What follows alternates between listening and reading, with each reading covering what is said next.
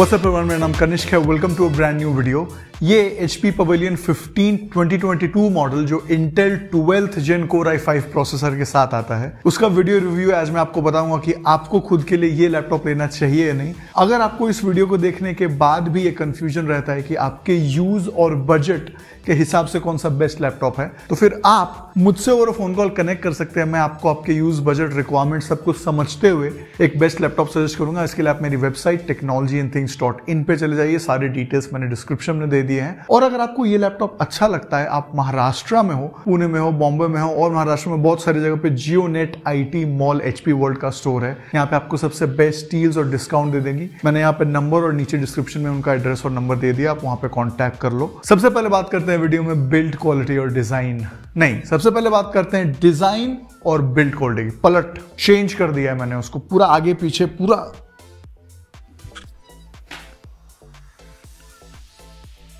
Looks बहुत ज़्यादा similar है लैपटॉप के 2021 वाले मॉडल से। अब यहाँ पे एचपी ने कुछ बहुत ज़्यादा चेंज नहीं किया है। ऑल सिल्वर वाला एचपी का जो टिपिकल लुक होता है, वैसा ही लैपटॉप का लुक है और दिखने में अच्छा दिखता है। वैसे तो ये सब्जेक्टिव चीज़ है, बहुत लोगों को पसंद आ सकती है, बहुत लोगों को नहीं भी आ सकती है। बट मुझे डिसेंट दिखती है। अच्छी बात यह है कि being a six inch laptop ये बहुत ज़्यादा कॉम्पैक्ट है। कहीं भी स्पेस का वेस्टेज नहीं किया एचपी ने कि ऊपर इतना बड़ा एरिया दे दिया। पहले ये एचपी किया करती थी तीन साल, चार साल पहले के मॉडल में कि कीबोर्ड के ऊपर बहुत बड़ा बड़ा एरिया खाली रहता था। वो सब नहीं है। बिल्कुल एंड टू एंड लैपटॉप है। उन्होंने स्पेस भी बचाया और वेट भी काफ़ी ज़्यादा कम है। For a 15.6 inch laptop 1.7 KG weight है, जो कि काफ़ी ज़्यादा डिसेंट है। पोर्ट सिचुएशन सही है। आपको दो यूएसबी टाइप ए पोर्ट्स मिल जाते हैं। एचडीएमआई पोर्ट मिल जाता है। 3.5 पॉइंट mm जैक मिल जाता है। एक यूएसबी टाइप सी पोर्ट मिल जाता है, जिसको आप एज ए डिस्प्ले पोर्ट भी यूज़ कर सकते हो। और अच्छी बात यह है कि वो यूएसबी चार्जिंग भी सपोर्ट करता है। मतलब टाइप सी चार्जिंग भी सपोर्ट करता है। टाइप सी चार्जिंग बहुत ज़्यादा डिमांड में है। और जब मैं अपनी कंसल्टेंसी वेबसाइट वेबसाइट के थ्रू लोगों से बात करता हूँ। बहुत सारे लोग ये एक चीज़ है जो हर लैपटॉप में आजकल ढूंढ रहे हैं, जो USB type C charging well done HP इसको इंक्लूड करने के लिए कीबोर्ड और ट्रैक पैड की बात करते हैं। कीबोर्ड के मामले में एचपी पहले से काफ़ी ज़्यादा इंप्रूव की है। यहाँ पे वो चीज़ साफ़ देखने को मिलती है। ट्वेंटी वाले मॉडल से अगर मैं कंपेयर करूँ तो कीज का फीडबैक थोड़ा सा ज़्यादा टैक्टाइल हुआ है। की ट्रेवल वगैरह बहुत ज़्यादा सिमिलर है और की पे जो पेंट था, मैंने बोला था थोड़ा डार्क कलर कीज देने उन्होंने डार्क तो नहीं दिया है। मतलब मेरे कहने पे नहीं दिया है, पर हाँ उसका पेंट का कलर एक शेड डार्कर है पहले से। पहले सिल्वर कीज पे सिल्वर कलर से ही पेंट था। यहाँ पे थोड़ा सा उन्होंने डार्क ग्रे कलर यूज़ किया पेंट करने के लिए। जब आप साइड बाई साइड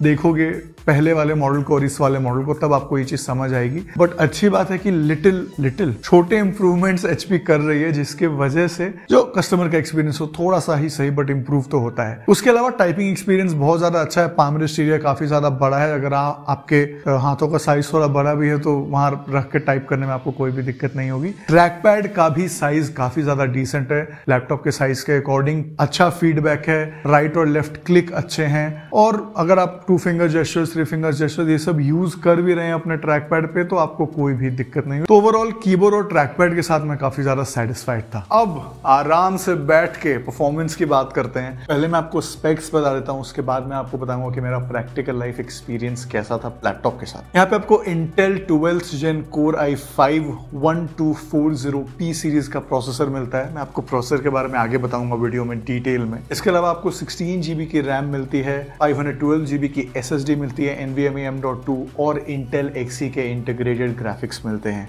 ये तो ऑन पेपर स्पेसिफिकेशंस की बात है। प्रोसेसर की बात करते हैं, बिल्कुल नया प्रोसेसर है और मैं बहुत ज़्यादा एक्साइटेड था इस प्रोसेसर को टेस्ट करने के लिए, क्योंकि बहुत ज़्यादा हाइप क्रिएट किया था इंटेल ने। और बाकी पूरी टेक कम्युनिटी ने की बहुत तो तो जोरदार प्रोसेसर होने वाला है। Twelfth gen core I five twelve forty P एक धमाकेदार प्रोसेसर है। ट्वेल्व कोर सिक्सटीन थ्रेड्स पे बेस्ड है, जिसमें से फोर परफॉर्मेंस कोर्स मिलते हैं एट एफिशिएंसी कोर्स मिलते हैं। इसको ऐसे डिवाइड किया जा सकता है कि जब आप नॉर्मल टास्क कर रहे होगे अपने लैपटॉप में नॉर्मल इंटरनेट पे ब्राउजिंग कर रहे हो मूवी देख रहे हो, बिल्कुल बेसिक लेवल का जब आप काम कर रहे हो, उस समय एफिशिएंसी कोर ही आपका परफॉर्मेंस देख लेंगे। परफॉर्मेंस कोर्स तक जाने की बात ही नहीं होगी। परफॉर्मेंस कोर्स तब यूज़ होंगे जब आप बहुत ज़्यादा हाई एंड गेमिंग कर रहे हो या फिर वीडियो एडिटिंग कर रहे हो, ऐसा काम कर रहे हो, इसमें सीपीयू पे लोड बहुत ज़्यादा आ रहा है। सिर्फ़ और सिर्फ़ उस समय ही वो परफॉर्मेंस कोर्स का यूज़ करेगा ये प्रोसेसर इसका मतलब है कि बैटरी बैकअप आपको अच्छी मिलेगी और कमाल का परफॉर्मेंस मिलेगा। मैंने इस लैपटॉप पे सारे ही बेंचमार्क सॉफ्टवेयर चला के देखे और क्या कमाल का स्कोर लाया है, क्या कमाल का परफॉर्मेंस मुझे दिखा है। मैं आपको एक एग्ज़ाम्पल देता हूँ। सिनेबेंच आर ट्वेंटी एक सॉफ्टवेयर है जो लैपटॉप के सीपीयू के परफॉर्मेंस को टेस्ट करता है और उसके बेसिस पे उसको पॉइंट्स देता है। जब मैंने Intel core I five eleventh gen G seven series को टेस्ट किया था।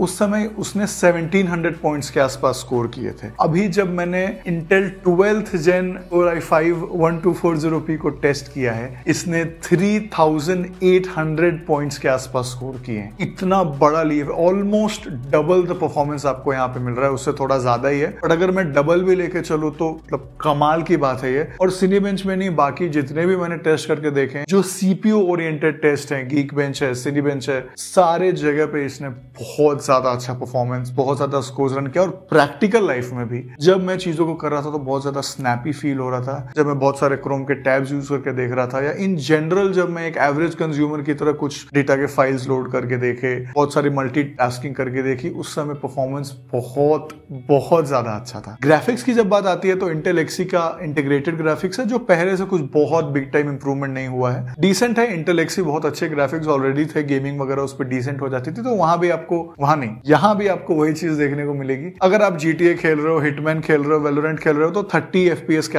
आसपास का आउटपुट आपको मिल जाएगा, जो कि काफ़ी ज़्यादा डिसेंट है। इसके अलावा अगर आप हाई एंड काम भी कर रहे हो, जो सीपीओ ओरिएंटेड है तो वहाँ पे आपको काफ़ी अच्छा प्रोग्रामिंग कोडिंग ऐप डेवलपमेंट ये सब में बहुत तगड़ी परफॉर्मेंस आपको देखने को मिलेगी पहले के कंपेयर में। और अगर आप ग्राफिक ओरिएंटेड टास्क करते हो वीडियो एडिटिंग है ग्राफिक डिज़ाइनिंग है तो एकदम हाई एंड फोर में वीडियो एडिटिंग करना मल्टी लेयर वाली डीएसएलआर का फुटेज वगैरह है, वो पॉसिबल नहीं है। बट बेसिक फ़ोन का फुटेज है, अगर आपको इंटरनेट से निकाल के शॉर्ट्स बनाने रील्स बनाने, ये सब आप बिल्कुल आराम से कर लोगे। ग्राफिक डिज़ाइनिंग वीडियो एडिटिंग ये सब काम बेसिक लेवल का इस पे काफ़ी अच्छे से हैंडल किया जा सकता है। बहुत ज़्यादा टाइम और एफर्ट हमारा जाता है आपके लिए ऐसी वीडियोस बनाने के लिए। आप प्लीज़ चैनल को सब्सक्राइब करके हमको बता सकते हैं कि आप इस एफर्ट को अप्रिशिएट कर रहे हैं। और वीडियो को लाइक कर दीजिए। मुझे कमेंट सेक्शन में बताइए कि राइजन और इंटेल में आपका कॉन्फिडेंस किस पे ज़्यादा है। प्रोसेसर नया है तो थर्मल परफॉर्मेंस की बात करना तो बनता है। यहाँ पे मैंने थर्मल टेस्टिंग भी की है और हीटिंग होती है। ऐसा नहीं है कि हीटिंग नहीं होती, क्योंकि परफॉर्मेंस बहुत अच्छी दे रहा है। तो ऑब्वियस बात है कि बॉटम पैनल में ठीक ठाक हीटिंग हो जाती है बट कूलिंग भी इस लैपटॉप की अच्छी है। तो जल्दी कूल कर लेता है। हालाँकि थिन एंड लाइट लैपटॉप में तो बहुत ज़्यादा स्पेस नहीं है कि एयर इनटेक और आउटटेक हो और वो गेमिंग लैपटॉप लेवल का कूलिंग नहीं है। बट डिसेंट है। अच्छी बात है कि जो टॉप पैनल है कीबोर्ड वाला पैनल वहाँ पे बहुत ज़्यादा हीटिंग आपको फील नहीं होगी। तो अगर आप एक्सटेंडेड आवर्स में पाँच छह घंटे एट स्ट्रेच यूज़ करते हो लैपटॉप को तो थोड़ा सा हीट फील होगा विच इज़ मैनेजेबल कोई लैपटॉप नहीं है जो हीट नहीं होता है। अगर आप लैपटॉप ले रहे हो तो थोड़ा सा कॉम्प्रोमाइज तो आपको करना ही पड़ेगा। इसके लिए आप ये नहीं समझिए कि ये कोई प्रॉब्लम है लैपटॉप में। नेक्स्ट डिस्प्ले की बात करते हैं हमें एक 15.6 इंच का 100% percent S R hundred nits वाला एंटी ग्लेयर डिस्प्ले मिलता है। स्पेक से ही आपको समझ आ रहा होगा, बहुत तगड़ा डिस्प्ले है। पहली अच्छी बात यह है कि पहले वाले पवेलियन पहली अच्छी बात पहले। इसके पहले जो मॉडल आता था पवेलियन का, उसमें डिस्प्ले में 45 परसेंट एनटीएसी होती थी मतलब कलर एक्यूरेसी उतनी अच्छी नहीं थी। यहाँ पे 100 hundred percent S R GB देखे कलर एक्यूरेसी को ये एक कंप्लेन जो था कस्टमर्स का, उसको पूरा कर दिया एचपी ने। उसके अलावा ब्राइटनेस पहले वाले में टू फिफ्टी निट्स था, यहाँ पे थ्री हंड्रेड निट्स है। जिसकी वजह से वो भी एक छोटा सा चीज़ कस्टमर्स हमेशा बोलते थे, उसको भी एचपी ने सही कर दिया है। तो डिस्प्ले बहुत ज़्यादा एप्ट है। आपको नॉर्मल कॉन्टेंट कंजम्पन मूवीज़ देखना है टीवी सीरीज़ देखना है, आपको ग्राफिक डिज़ाइनिंग करना है वीडियो एडिटिंग करना है फोटोशॉप पे कलर ग्रेडिंग करना है, सारे काम, छोटे से लेकर बड़े तक, सारे काम बिल्कुल आराम से कर सकते हैं। कहीं भी आपको कोई भी डिफिकल्टी फील नहीं होगी। Very very well done HP next battery की बात करते हैं हमें। एक 41 वन वोट आवर्स की थ्री सेल की बैटरी मिलती है।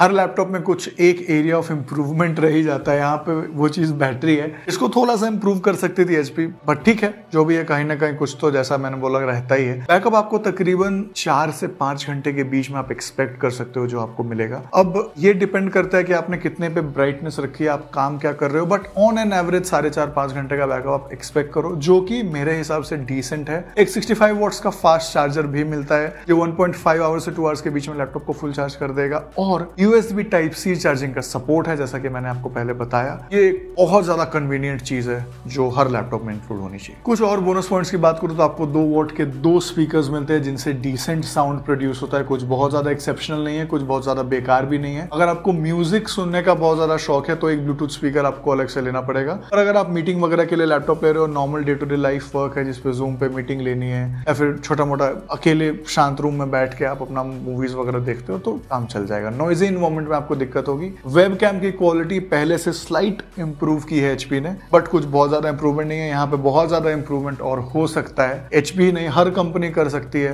मैं बोलता रहूँगा जब तक नहीं होगा, क्योंकि मैं कस्टमर के साइड हूँ। एमएस ऑफ़िस आपको इसमें 2021 वाला प्रीलोडेड मिलता है होम एंड स्टूडेंट एडिशन जिसको आपको एक्टिवेट करना होगा लॉग इन करके। तो ये एचपी भी कह रही है, मैं भी कह रहा हूँ कि आप भूलिएगा नहीं, वहाँ पे उन लोगों ने एक स्टिकर भी लगा दिया है कि आपको भूलना नहीं एमएस ऑफ़िस को एक्टिवेट करना। क्या आपको ये लैपटॉप खुद के लिए लेना चाहिए या नहीं? वन हंड्रेड परसेंट यस अगर आप इंटेल ट्वेल्थ जेन के लिए रेडी हो या वेट कर रहे थे रेडी तो मतलब आप हो गई। अगर आप वेट कर रहे थे इंटेल ट्वेल्थ जेन के लिए, मैं आपको बता सकता हूँ, बेहतरीन परफॉर्मेंस बहुत ज़्यादा वैल्यू फॉर मनी है सेवेंटी फाइव थाउज़ेंड के आसपास इस लैपटॉप का प्राइस है और इसी का एक और मॉडल है जिसमें डिस्प्ले 100% परसेंट एस वाली नहीं मिलती है जिसका प्राइस 70,000 के आसपास है। दोनों ही मॉडल्स कमाल के हैं। अगर आपको अच्छा डिस्प्ले चाहिए ये वाला मॉडल ले लो। थोड़ा कम अच्छा चाहिए तो फिर वो वाला मॉडल ले लो। और और क्या चैनल को सब्सक्राइब कर दीजिए। अगर आपको कंफ्यूजन है कि आपके यूज़ और बजट के हिसाब से कौन सा बेस्ट लैपटॉप है तो फिर आप मुझसे और फ़ोन कॉल कनेक्ट करके अपने सारे कंफ्यूजन को क्लियर कर सकते हैं। मेरी website technology and things dot in पे जाके मैं आपसे मिलता हूँ ऐसी एक अगली वीडियो में। तब तक के लिए। Take care